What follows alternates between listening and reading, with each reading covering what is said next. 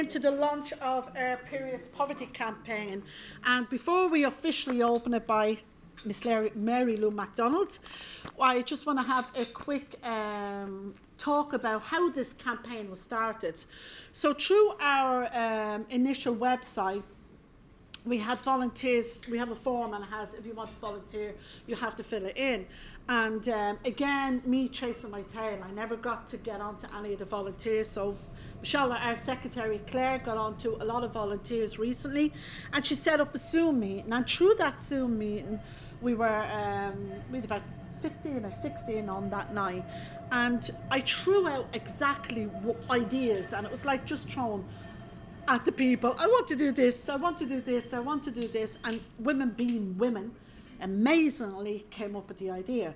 So Sue started our team, and we got into period poverty.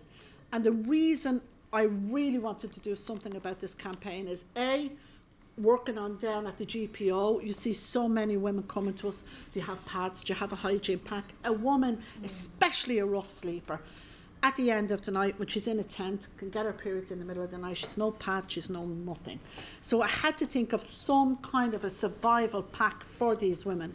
And also going into direct provision centres, hearing the stories that there is not enough period pads, sanitary pads, hygiene wipes, anything for these women. So we got together and it's after taking a couple of months, oh no, about six weeks, yeah, about six weeks, got together for this campaign. But today we're officially going to launch the campaign. Um, it is a great honour to have you here. Mary Lou McDonald is the leader of Sinn Féin and Dála have I said that right? Teacht for the Dublin Central constituency. Mary Lou is married to Martin and they have two young children. She's proud to represent the people of Dublin Central, where she has a reputation for hard work and championing the needs of her constituency, both locally and nationally. You're very welcome this morning, Mary Lou.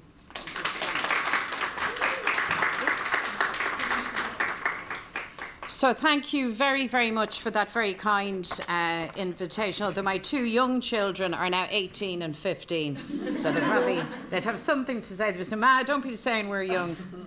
Um, so can I first of all just say uh, thank you so much, um, all of you, uh, Muslim sisters.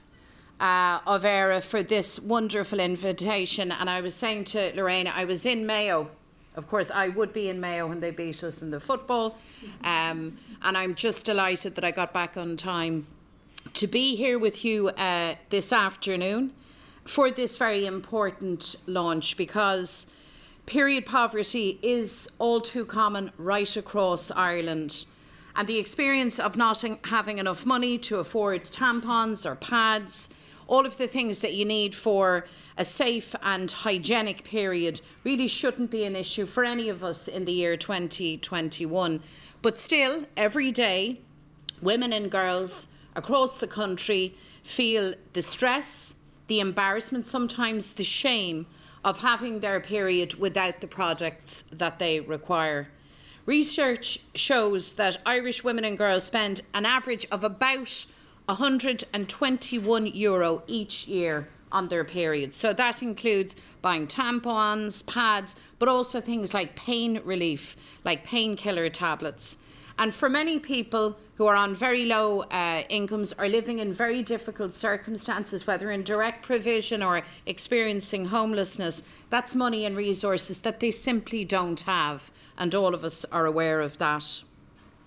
But it's not limited just to, to those of us experiencing extreme poverty, because the reality is that period poverty can affect women and girls in any town or village in Ireland from all backgrounds and from all walks of life.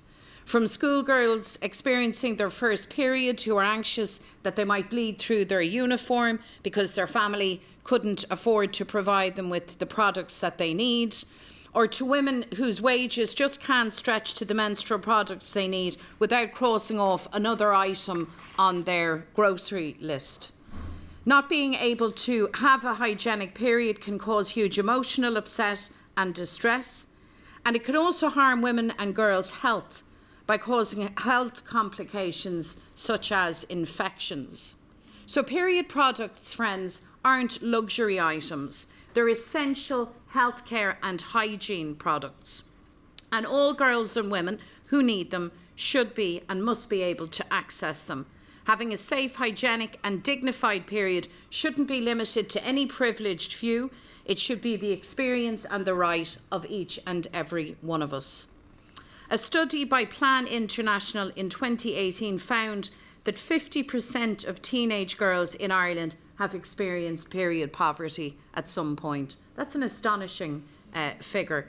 10% had resorted to using unsuitable items to manage their period, like newspapers, rags, toilet roll.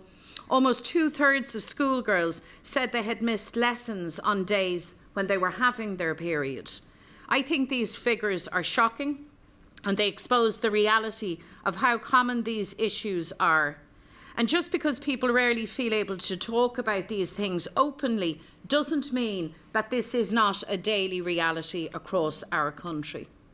Women heading up single parent households can be particularly at risk of experiencing period poverty, as well as our women and girls in our traveller community, uh, women and girls experiencing homelessness, women from ethnic minorities, many women and girls who are refugees seeking asylum and status, members of migrant communities can also be especially affected. And Lorraine mentioned the experience within direct provision, and I think it's worthy of particular mention because women living in direct provision are often unable to buy their own products due to restrictions on their ability to work, to earn, and they can request products from direct provision centres, but many uh, certainly have told me that they feel that this undermines their sense of personal privacy and dignity. And they also have raised concerns that the products they receive are very often of the lowest of the low quality. So I think much more needs to be done now to break down cultural, language barriers, all barriers, in order to bring information and resources to women and girls in migrant communities in an accessible way. Too often we can feel uncomfortable talking about our periods. There can be a sense of embarrassment or shame uh, discussing these things that are considered women's uh, problems. But that really shouldn't be the case. So we have to very consciously, I think, end the stigma or shame around our health, around women's health. We need to talk about our issues if we're going to tackle them together.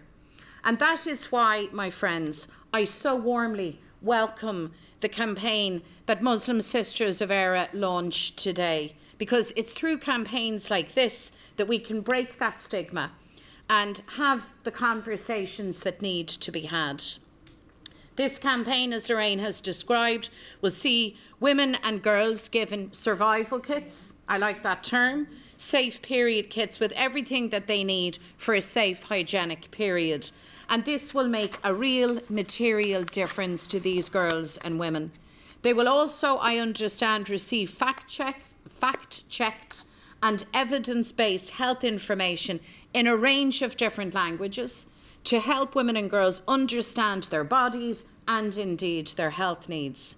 And I think this will be a vital project for empowering women and girls about their menstrual health and in breaking down barriers around stigma and lack of knowledge. So I want to commend each and every one of you who's been working to bring this important project about. I, of course, wish you only the greatest of success in your campaign because it is, sisters, in acts of solidarity like this that each of us makes our own huge difference to the lives of women and girls and makes a major step towards inclusion and fairness and dignity in Ireland. I believe that together we can work towards a more equal society. I believe we can live in that society together, a place in which women and girls live safely and live with dignity. And so I am honoured and delighted to be asked to launch this important campaign here with you this afternoon. Go raibh míle maith agaibh, Gunairi Live. I wish you the very best of success and I salute again the incredible work that you do uh, for those on the margins uh, and for people who need an ear and a heart, a hand up, um, and to be given a chance and to be heard. Your work is wonderful, and this this campaign is a logical and such a valuable extension of that. Thank you again. And I now officially, I don't know how I launched this. Uh, I launched, I hereby launch the Good Ship, the Good Ship Period Poverty campaign. Thank you so much uh, again, and thank you again, uh, friends, for inviting me this afternoon. Thank you.